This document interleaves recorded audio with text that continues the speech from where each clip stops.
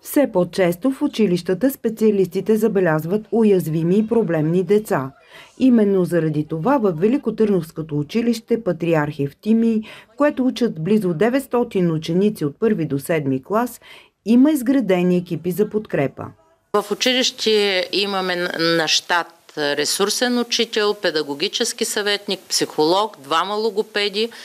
Изградени са екипи за подкрепа, допълнителна и обща подкрепа на нуждаещите се ученици, така че всички са обезпечени от страна на приобщаващо образование. Често емоционални дефицити и липса на концентрация се срещат при децата с един родител, разказва училищният психолог доктор Офелия Иванова. Има и други деца, които фактически присъстват и двамата родители в семейството, но единия модел на възпитание и отглеждане някак липсва. Заявките идват определено от класния ръководител, защото той стои най-близо до класа и до децата.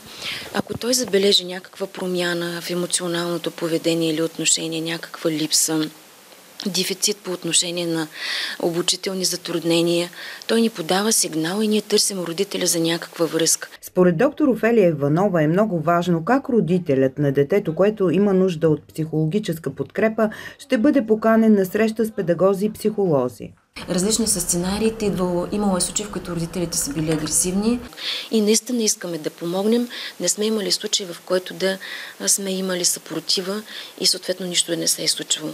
Образованието е една пирамида, в която участват учители, родители и деца.